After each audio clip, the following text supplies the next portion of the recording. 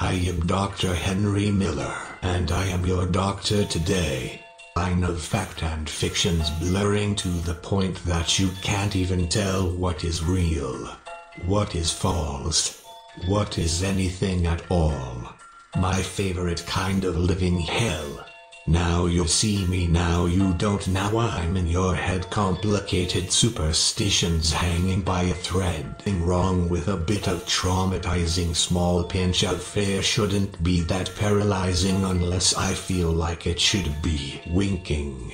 I'd ask to tell me all his secrets, so I'd never come to disappoint. Pull his teeth, prick his eyes, and make sure that he's alive, or maybe rip out all his joints.